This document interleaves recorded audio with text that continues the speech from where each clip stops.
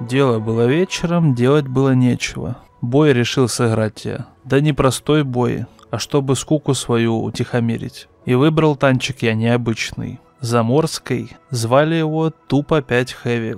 Думаю, ну все. Максимальное разнообразие будет именно здесь. На каком еще танке я смогу получить необычный геймплей? Сто процентов вот оно. Счастье мое. И что вы думаете? Поехал я в бой, который игра оценила в три отметки. Ни тебе челленджа какого-то, ни вызова, ни боли и страданий. Просто один бой, три отметки. Но боем на нем уже было сыграно достаточно.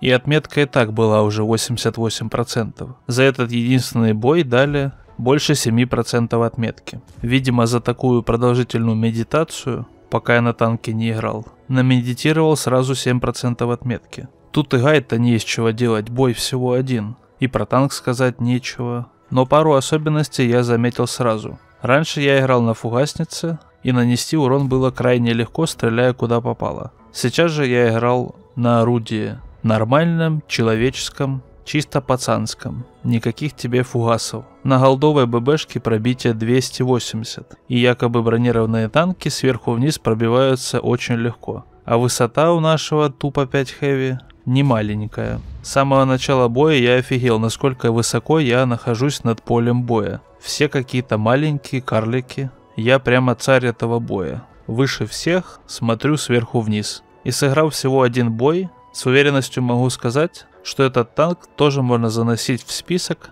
танков с комфортным орудием. Орудия, с которых приятно и кайфово стрелять. Орудия, у которых снаряд летит практически всегда в середину с них легко попадать и наносить урон. У Type 5 Heavy такая четкая стабилизация, хорошее сведение, хорошие УВНы. Орудие меня порадовало. Оно реально комфортное, четкое и классное. Но что точно могу сказать, хоть в этом бою в меня много не стреляли, но меня пробил Эмиль без голды, и это очевидно, что у танка брони мало. Он скорее играет от размена своего ХП, выдавая альфу в ответ. Стоять продолжительное время под вражеским обстрелом, я думаю, не стоит, наш танк попросту рассыпется. Поэтому заезжать под перекрестный огонь или стоять в позиционке перед врагом, все время показывая свою тушку, это ошибка. Еще было бы прикольно поиграть на этом танке побольше, чтобы найти какие-то новые необычные прострелы на картах, поскольку дырок в стенах и в домах очень много,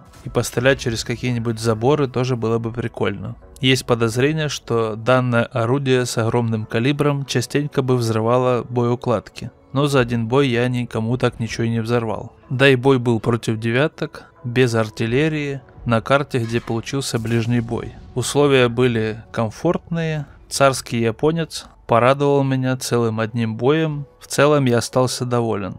Жаль, что нельзя на танке сбросить три отметки. После всех его изменений и такого огромного перерыва, хотелось бы заново на нем набить три отметки. А то как-то уже и набивать нечего. Разве что попробовать набить 100% отметки. Но это как-то ничего не дает. Три отметки хотя бы на пушке видно. На 100% просто циферка для себя. Еще на этом танке у меня замечательный 3D стиль. Честно скажу, он мне не нравится.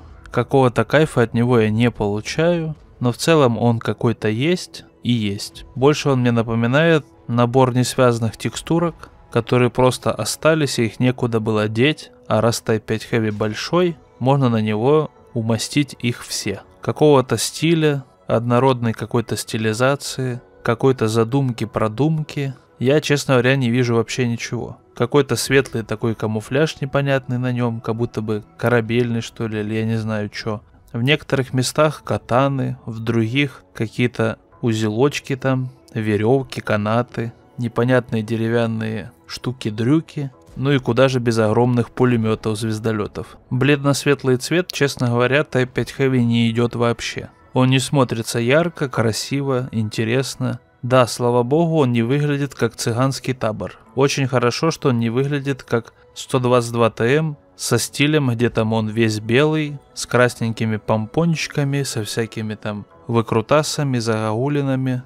Хорошо, что он хотя бы выглядит так. Но можно было бы немножко добавить сочности и поубирать лишний мусор. Впечатление от 3D стиля такое, что он наполовину как будто бы выставочный и стоит наполовину в музее, со всякими там подставками под катаны и канатиками, а наполовину боевой с пулеметами и звездолетами. Как оно вместе связалось в один танк и вместе по бою куда-то там едет, я, честно говоря, мало себе это представляю. Что творилось в голове у человека, который все это в одну кучу лепил, мне не сильно понятно. Такое впечатление, как будто бы человеку дали задание «Сделай на японском танке что-то японское».